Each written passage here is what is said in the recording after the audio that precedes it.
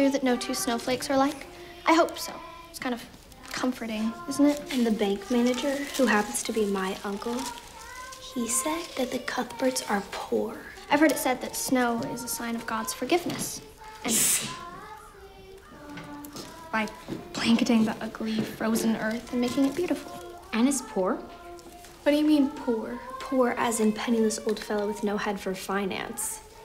It's not very nice. Snow means Christmas is coming, and I love Christmas, don't you? I don't know, but I plan to.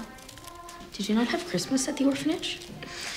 There wasn't much to it, really. I'm not sure why Father Christmas wasn't able to stop there. Maybe the matron scared him off. That can't be true. The Cuthberts had to mortgage their farm. Isn't that sad? Josie Pye, you take that back. Why are you upset? It's only true. You're poor. Wait, you didn't know? Do you at least know if they're going to keep you? Keep me. Next. Come along. Unig Sisteo.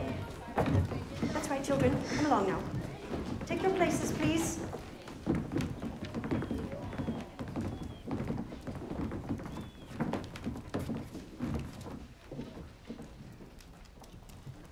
Angels we have heard on high, sweetly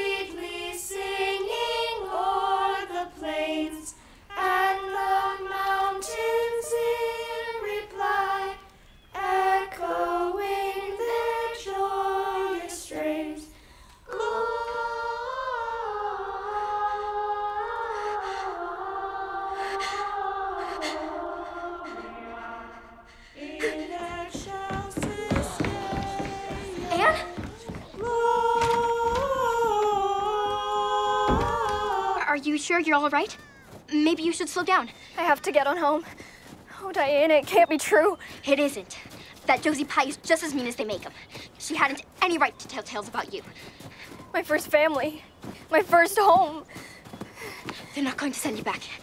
You're in the Bible and everything. We can't lose Green Gables. We just can't.